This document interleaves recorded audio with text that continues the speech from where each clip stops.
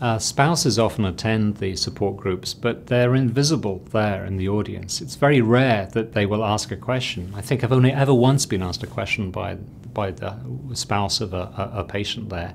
I, I, I, suspect that they feel that the support group is for the men and that they shouldn't ask questions.